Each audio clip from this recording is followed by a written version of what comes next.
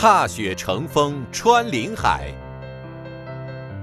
我们所说的这个面条雪啊，嗯对我们冰雪爱好者来说是太棒了。冰天雪地逛大集，他们拿这个东西扔到地上的时候，是那种冰块相碰的声音。探寻铁路小镇的特色美食。本期节目带您走进黑龙江省牡丹江市横道河子镇。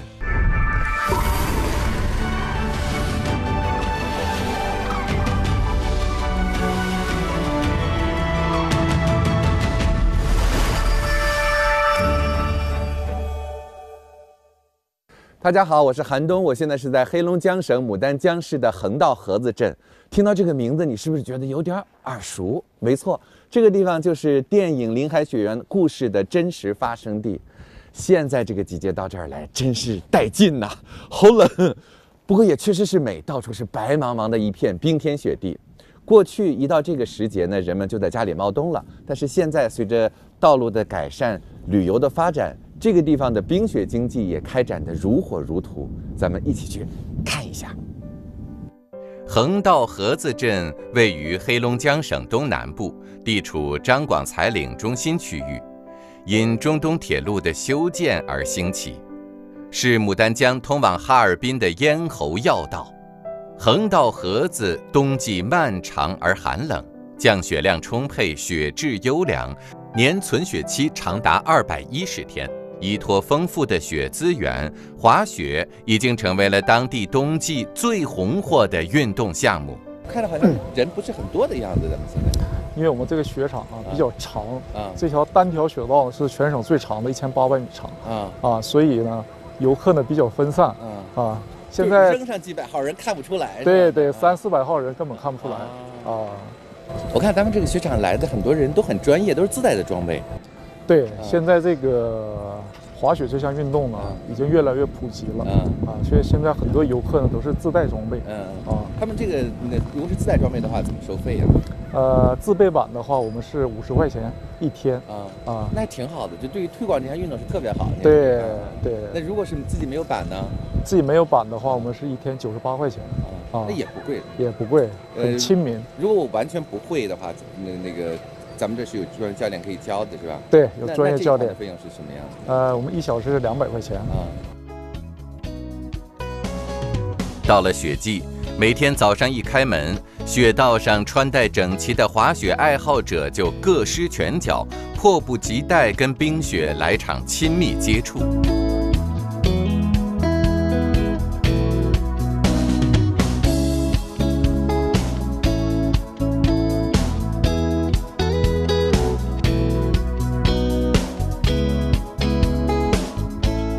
初学者缓慢踱步，练习基础。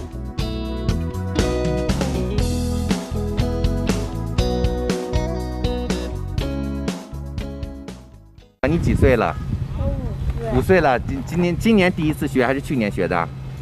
现在学的。今今年学的？现在刚刚来啊？好玩吗？摔跤了没有？摔跤了。摔跤了，疼不疼？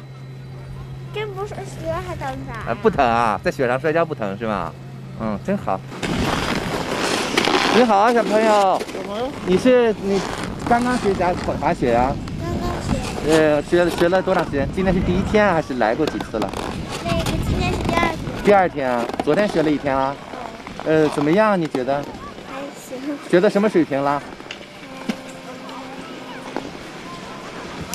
还可以。还可以啊，可以啊。你你喜欢滑雪吗？啊？啊，好。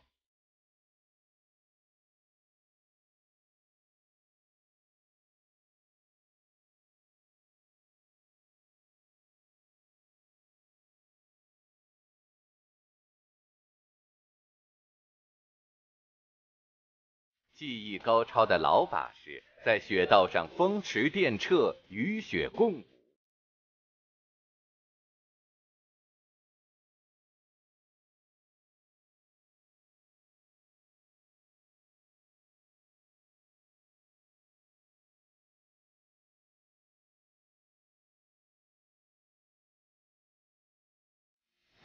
海林，从海林过来的，对，是专门到这边来滑雪。对对对对，你你一年滑多长时间的雪啊？三年，你呃，你就滑了三年的雪了？对啊，我看你技术很好呀，已经。对三年就可以学到这个水平啊？可以三个雪季，呃，他不是天天玩的。啊，那就这一个雪季，你大概花多长时间啊？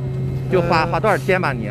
大概两三个月，差不多。那真是喜欢这个东西对，啊。爱好这个。啊，你们这次来了多少人啊？我们这次来了大概是四五十人。啊啊，它这滑雪场怎么样？好在什么地方？你们觉得？呃，虽然说是这个雪场的规模不是很大，但是这一条道的这个雪道的条件，对于我们冰雪爱好者来说，呃，非常够用。嗯呃，它的高度够，嗯然后宽度呢也够，嗯包括这个雪质呢，对于我们滑雪爱好者来说也很好。啊呃，温度适中，啊既不硬又不软，啊而且横道的这个地方，它每年下雪的这个雪量很大呀。啊就像我们昨天来的时候就已经飘起了鹅毛大雪，啊在市区完全没有下雪。啊这下完雪之后，今天早晨就太棒了。今天早晨的感觉，呃，下完雪之后再去用压雪机再压雪，我们所说的这个面条雪啊，嗯对我们冰雪爱好者来说是太棒了。这早晨吃第一口面条很兴奋的。啊！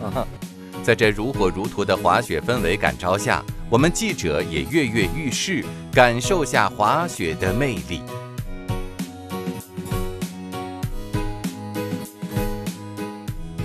先告诉你穿好雪板哈，双手拿着雪杖。好，脚尖儿对好了，好，可以。好嘞，我穿雪板啊。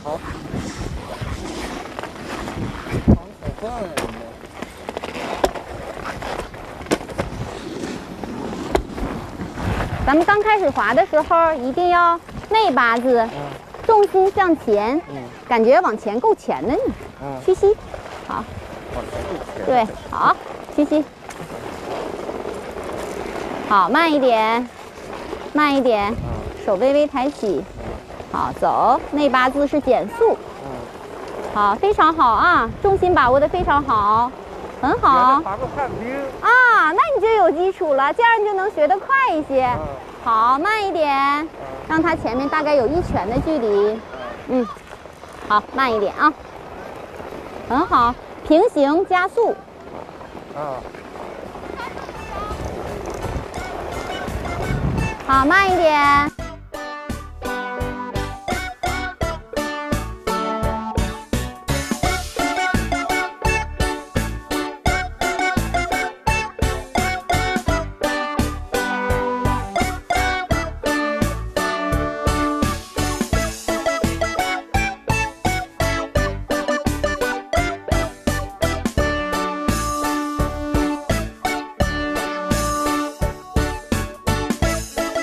者有滑旱冰的基础，滑雪上手很快，短时间已经可以在中级赛道顺畅滑行。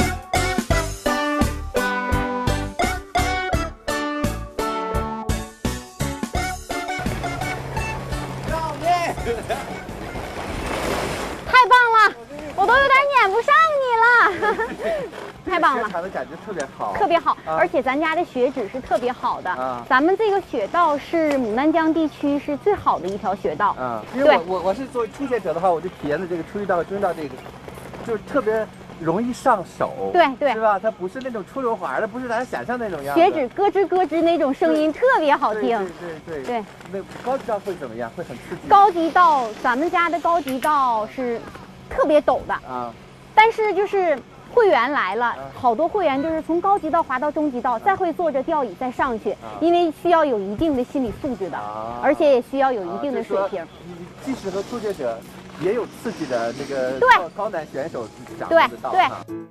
威虎山横道滑雪场，雪道从山顶穿林海而下，呈 S 型，全长一千八百米。因坡道的不同，分为高级、中级、初级三部分。魔毯、拖牵、索道三种运载工具，分别运送游客去不同难度的雪道。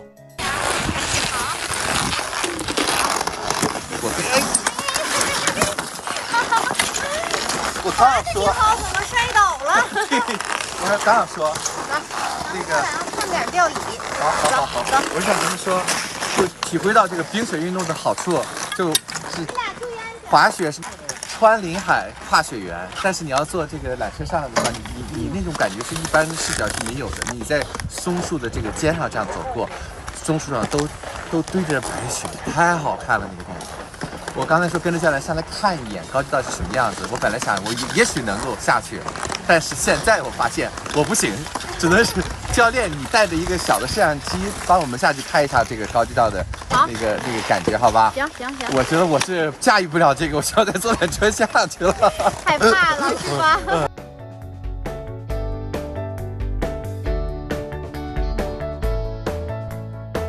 每年一百天的一个雪季，横道河子滑雪场平均每天接待三四百人，节假日更是达到六七百人，整体营业额已经达到三百多万元。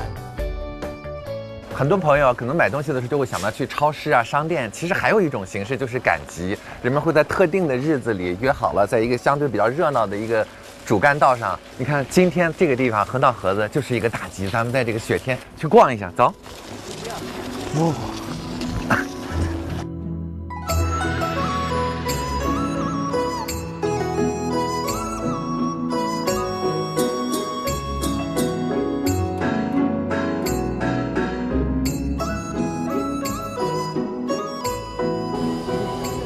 集还挺大的，是那个得有得有一一里地，也就是说得有五百多米，从那边到这边人熙熙攘攘的，今天应该是一个大集，而且特别有意思，就是怕冻的那种，都是到这边，这边就到怕冻的区域，你看，全部是支着棚子的。咦，这里头是卖菜的，它里边还生着炉子，弄着烟囱，你可能一看，因为这菜要是出来就冻了，马马虎虎的。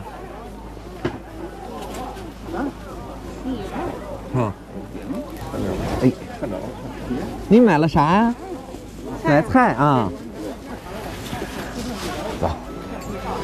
哎呀，现在室外的温度接近零下二十摄氏度，但是寒冷的天气也阻挡不了人们逛大集的热情。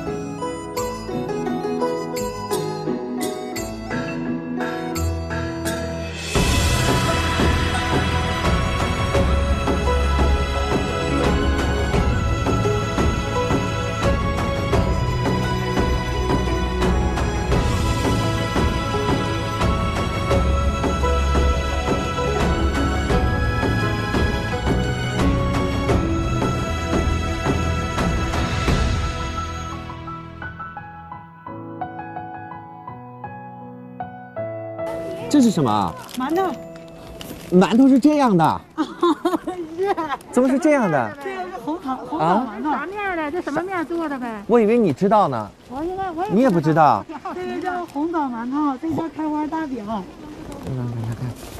这都是你自己做的？啊，为什么做成这个样子的馒头？我都没见过。这是红枣的对，这是开花大饼，都是纯手工制作的。啊。嗯，这是什么鱼啊？金枪鱼。金枪鱼。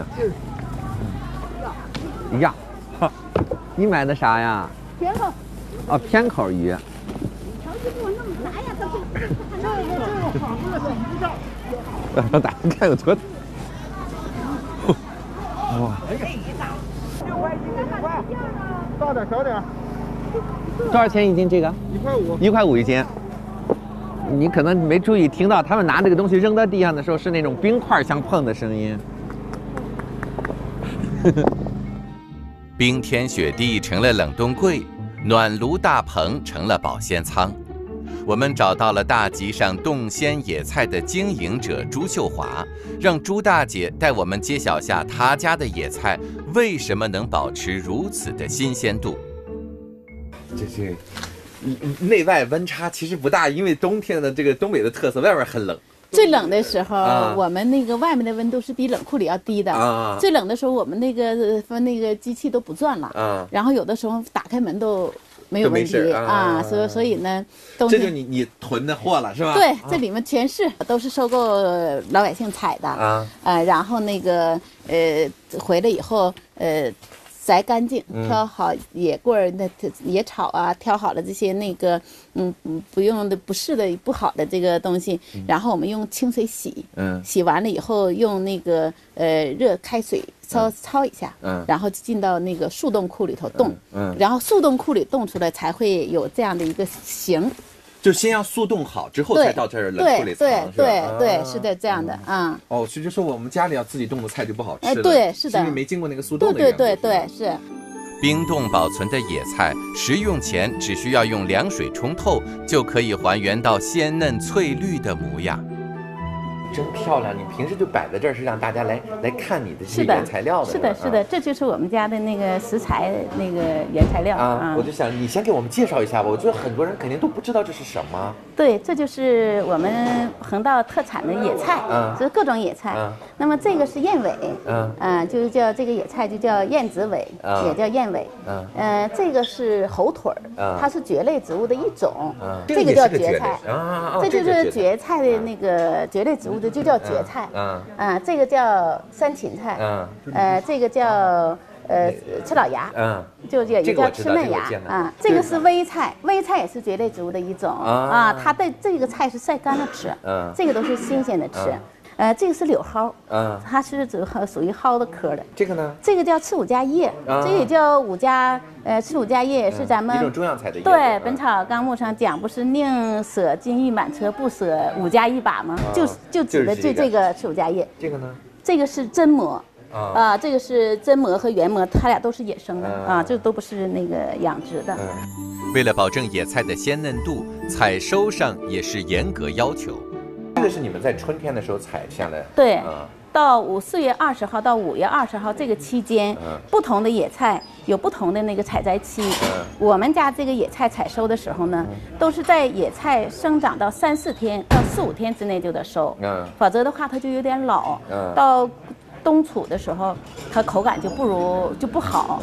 啊，要老了就我们就收那个新鲜的，特别嫩的时候我。让大家看，对这个就能看出它我们都是嫩芽的时候对对对，这个吃嫩芽我们在收的时候都长度不准超过四寸。啊，啊，就是的，不准超过四寸长。还有尺寸的要求啊，那因为一看就这么长啊啊，胖乎乎的，这样就收这样的，到冬储的时候，你看才才嫩嗯，而且它不空。针对各种野菜口感的不同，朱大姐也开发出了各式各样的以野菜为主打的菜品和主食。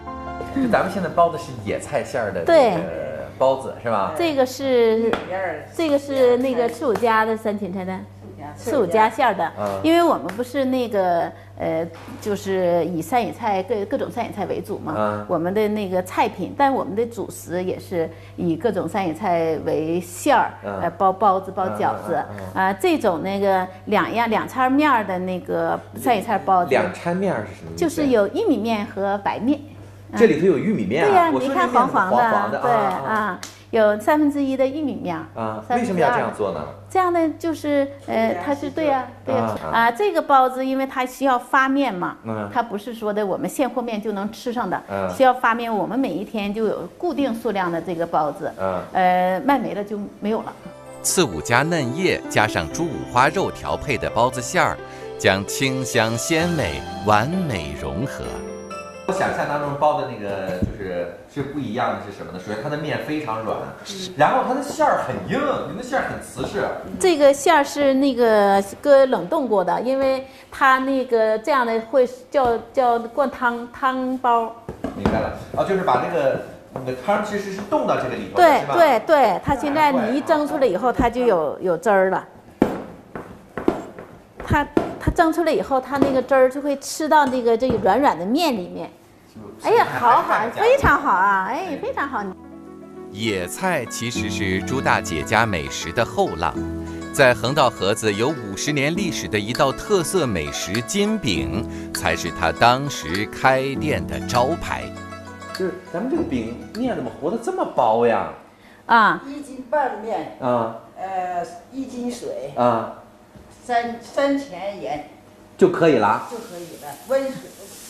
啊，它这个和面呢，和的过程中和的时候就得和一个小时到一个半小时，嗯。然后那个呃揪出来我们规定的这个剂子，嗯。嗯，饼的这个剂子大小，嗯。然后呢醒面都醒八个小时，八个小时呃对啊！，否则的话，它这个在用这种高筋面，你要是不醒到时候，面筋出不来啊。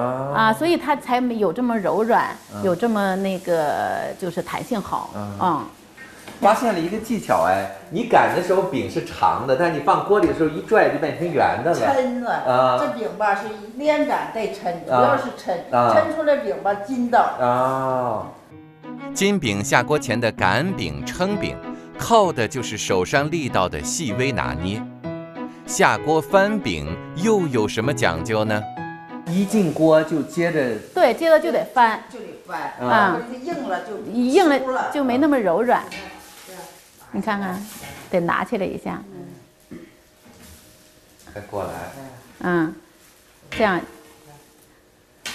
这样再烙烙边儿，烙烙边儿有厚的地方，完了，这个生的，啊，嗯，这这个就可就好了。就你看可以了啊，这个就就完成了。这是一完成一张，他一个人烙就是这个速度。啊。但是你要是人多的时候，你就他一个人供不上。供不上。我们一我们人多的时候是两两套烙饼机器，啊，完了然后四个人不停的在烙。一个路边店怎么能成为远近闻名的打卡店？记者已经迫不及待地想找到答案了。那就是你们常来这家店吃饭吗？嗯，对他常来的。经常来，经常啊来。，为啥你为啥选择到他们家来？他们家的话呢，非常有特色，啊山货非常新鲜，啊然后年头也很久，啊每次回来我都会。啊，他还特地从嗯深圳啊，坐飞机回来，就为了吃这顿饭。你是去那个接机回来在这吃的？以前来过吗？啊，没有，我是第一次来，第外地的，外地，你从哪儿来的？我在辽辽宁，啊，过来旅行的。对对啊，对他菜饭菜怎么样？啊，挺好吃，挺好吃材料你太大了。你们是听说他们有这家店，还是无意当中走进来的？嗯，听说就是当地人跟我们说，啊介绍说这家店是当地最好吃的煎饼店。啊，怎么样？确实你们那儿有金饼吗？有这个？我们那边没有，我们那边是春饼，啊，它怎么样？你那个就是味道和口感都挺筋道的，然后非常适合年轻人和老年人，口感都非常不错的。金饼手艺的传承，山野菜菜品的研发，做出最地道的横道盒子特色美食，正是朱大姐的经营之道。就你这儿，我观察一天，真是生意兴隆，嗯就客人一直不断啊嗯啊，在他那个经营应该是很好吧？嗯，是的，嗯因为我们都是三十年的老店了嘛嗯。，正常年份，咱比如说一天能接待多少人？您算过吗？